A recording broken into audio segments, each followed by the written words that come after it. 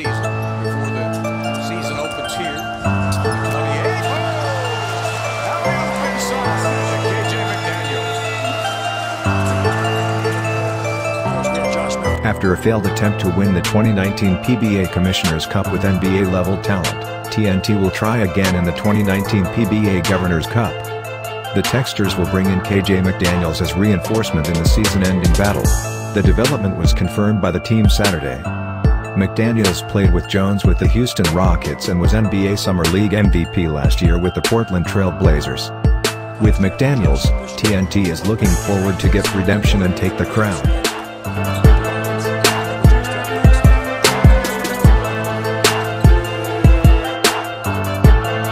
He played college basketball for Clemson University before he was selected by the Philadelphia 76ers with the 32nd overall pick in the 2014 NBA Draft.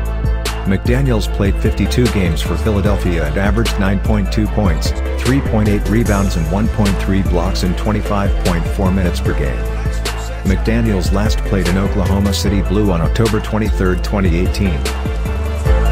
BP Trophy